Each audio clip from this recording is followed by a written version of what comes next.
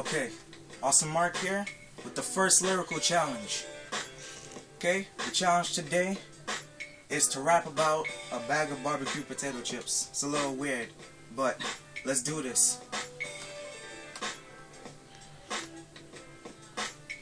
Let me talk about a snack that's totally smack that makes your tongue lick your lips like it's a romance dance cause no preservatives. The care of it, so it's guaranteed fresh. One of the best. Now let me switch to nutrition facts and I guarantee you I won't make it whack. Act, it's got no vitamin A, calcium A, it's got some thiamine, niacin, what? Phosphorus, vitamin C, iron, vitamin E, vitamin B6, and magnesium with 230 calories. Geez, good thing it's only one serving. Irving, cause the honey's got your taste buds swerving.